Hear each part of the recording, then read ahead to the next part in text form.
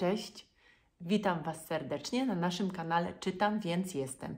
Ja mam na imię Kasia i od paru dni czytam Wam codziennie książkę Michaiła Buchakowa pod tytułem Fatalne jaja. Dzisiaj będę czytała rozdział piąty, a ponieważ rozdział piąty jest długi, więc bez specjalnego wstępu przechodzę od razu do czytania.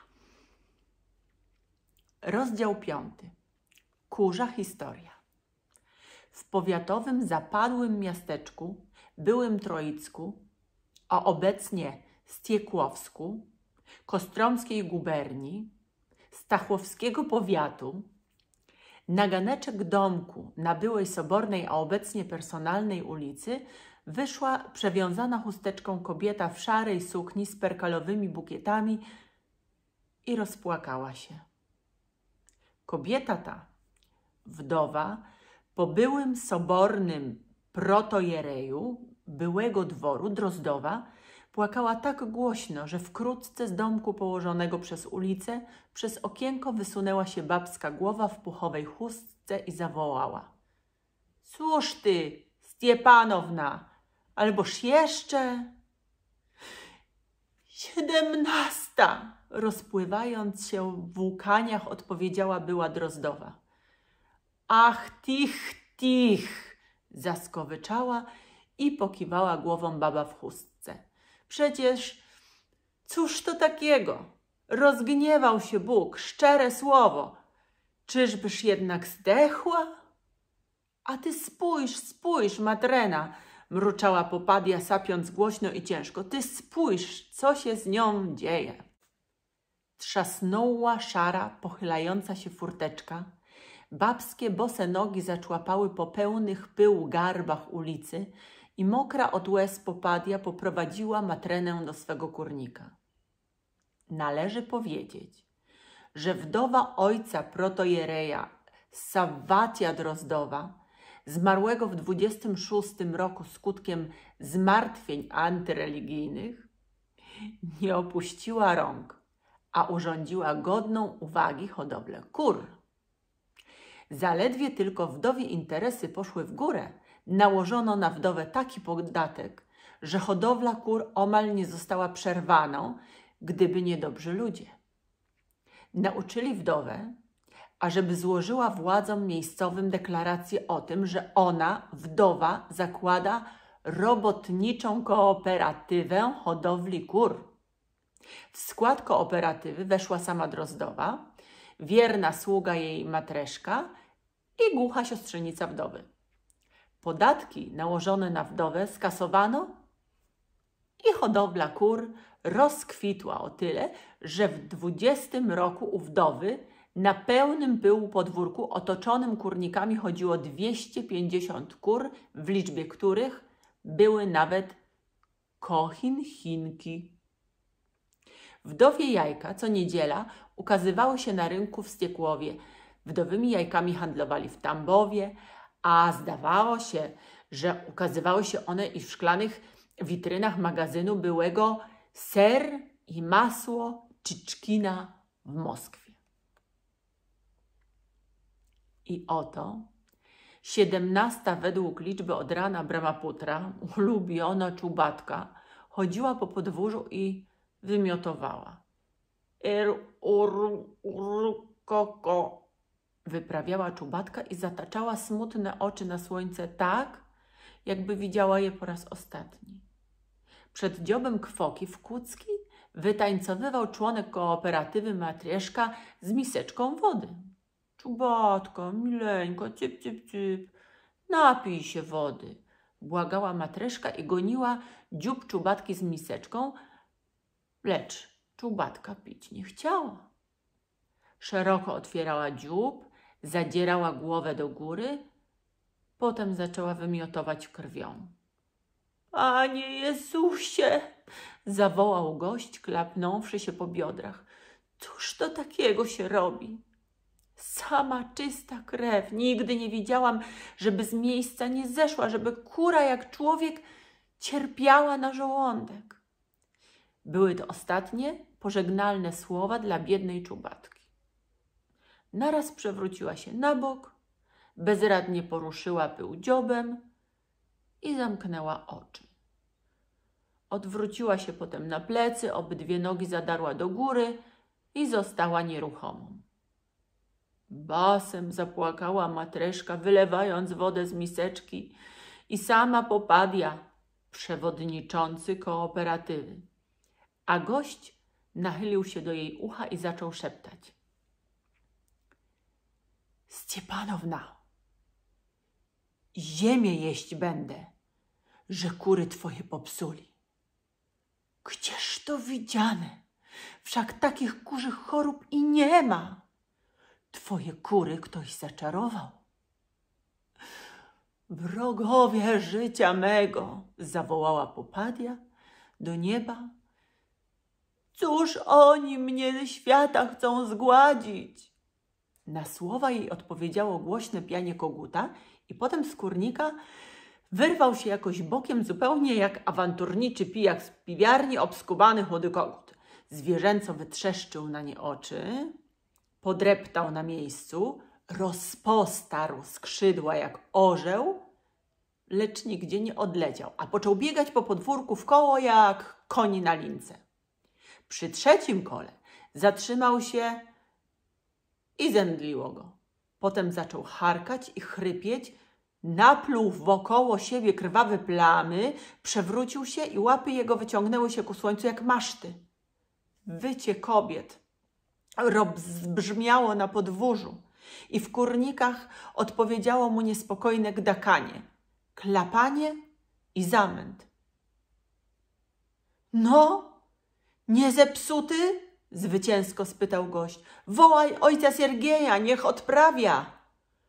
O godzinie szóstej wieczorem, kiedy słońce siedziało ognistą twarzą między twarzami młodych słoneczników, na podwórzu hodowli kur ojciec Siergiej, proboszcz cerkwi sobornej, ukończywszy nabożeństwo, wyłaził z epitrarchii.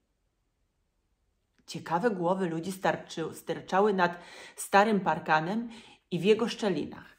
Żałośliwa popadia, ucałowawszy krzyż, gęsto zmoczyła kanarkowy porwany rubel łzami i wręczyła go ojcu Siergierowi, na co ten, wzdychając, zauważył, że to z powodu tego, że oto widać Bóg rozgniewał się na nas. Potem tłum z ulicy rozszedł się, że zaś kury wcześniej kładą się spać, to nikt i nie widział, że u sąsiada popadli drozdowej w kurniku zdechły od razu trzy kury i kogut. Wymiotowały tak samo jak i drozdowskie kury. Lecz tylko śmierć zaszła w zamkniętym kurniku i cicho. Kogut zwalił się z grzędy na dół głową i w takiej pozycji skończył. Co zaś tyczy kur wdowy, to do wieczora w kurnikach było martwo i cicho leżały stosami zesztywniałe ptaki. Rano miasto wstało jak gromem rażone, dlatego że historia przybrała dziwne i potworne rozmiary. Na personalnej ulicy do południa pozostały przy życiu tylko trzy kury. W ostatnim z brzega domku, gdzie zajmował mieszkanie powiatowy fidi inspektor, lecz i te zdechły do godziny pierwszej w południe. A pod wieczór w miasteczku Ściekłowskie huczało i kipiało jak w ulu i toczyło się przez nie groźne słowo mur.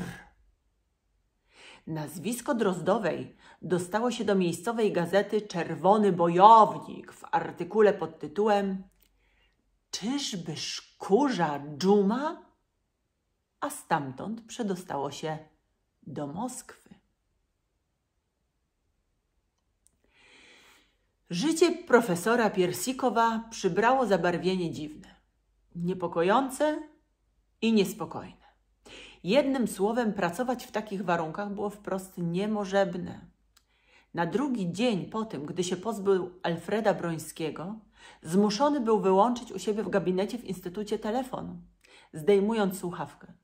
A wieczorem, przejeżdżając tramwajem przez Ochtny Riad, zobaczył profesor samego siebie na dachu olbrzymiego domu z czarnym napisem Gazeta robotnicza. On, profesor, kurcząc się i zieleniejąc i migając, właził do landa taksówki, a za nim, czepiając się rękawa, władziła kula mechaniczna w kołdrze. Profesor na dachu, na białym ekranie, zakrywał się pięściami przed fioletowym promieniem. Potem wyskoczył ognisty napis. Profesor Piersikow, jadący autem, udziela objaśnień naszemu znakomitemu reporterowi, kapitanowi Stiepanowowi. I rzeczywiście, obok cerkwi Chrystusa, przez wołchonkę, przemknął trzęsący się samochód i w nim mocował się profesor i fizjognomia jego była jak u osaczonego przez obławę wilka. To jacyś diabli, a nie ludzie, przez zęby zamruczał zoolog i przejechał.